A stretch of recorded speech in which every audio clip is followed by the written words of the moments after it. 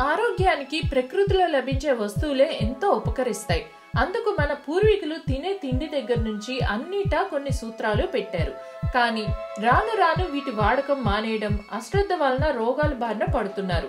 అయితే కొన్ని చిట్కా గుర్తు చేసుకుంటే ఎంత ఉపయోగమో తెలుస్తుంది.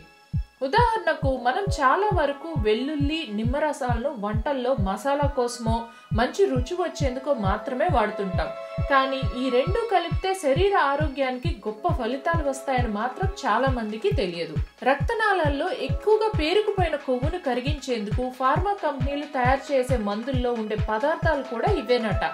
రసాయనిక చర్యతో తయారైన మందులు ఎందుకు వాడాలి? సహజ సిద్ధంగా ఆ రెంటిని కలుపుకొని మనమే తాగితే నాళాల్లో కొవ్వు కరిగిపోతుంది. దీంతో రక్త సరఫరా మెరుగవుతుందని చెప్తున్నారు దీంతో హార్ట్ స్ట్రోక్ వచ్చే ప్రమాదం నుంచి తప్పించుకొని దీర్ఘాయుషు పొందవచ్చు. ఇప్పటికే గుండె జబ్బులు ఉన్నవారు మందులు వాడుతూనే ఈ మిశ్రమం తాగితే భవిష్యత్తులో మరింత తీవ్రమైన గుండె జబ్బుల ప్రమాదం తప్పుతుంది.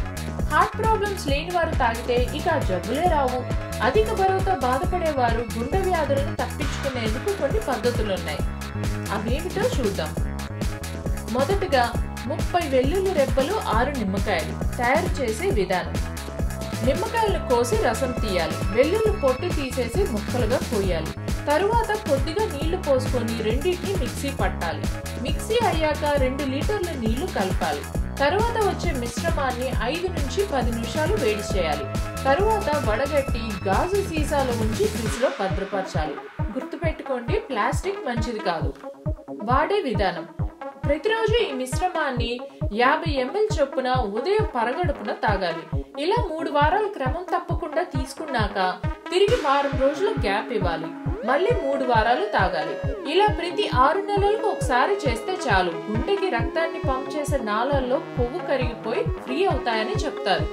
రెండో విధానం. ఒక కప్పు యాపిల్ సైడర్ వినేగర్ ఒక కప్పు వెల్లుల్లి రసం ఒక కప్పు అల్లం రసం ఒక కప్పు నిమ్మరసం తయారు చేసే విధానం. అన్నిటినీ ఓ పాత్రలో కలిపి స్టవ్ పై ముప్పై నిమిషాలు వేడి చేయాలి. తరువాత దించి పూర్తిగా చల్లబడిన తర్వాత మూడు కప్పులు తేనె కలపాలి. తరువాత గాజు సీసాలో పోసి ఫ్రిడ్జ్లో పెట్టుకోవాలి. వాడే విధానం. ప్రతిరోజు ఉదయం బ్రేక్ఫాస్ట్కు ఓ అరగంట ముందు ఓ టేబుల్ స్పూన్ తాగాలి. ఈ రెండు పద్ధతుల్లో ఏది ఆచరించినా మంచి ఫలితాలు వస్తాయని అంటారు.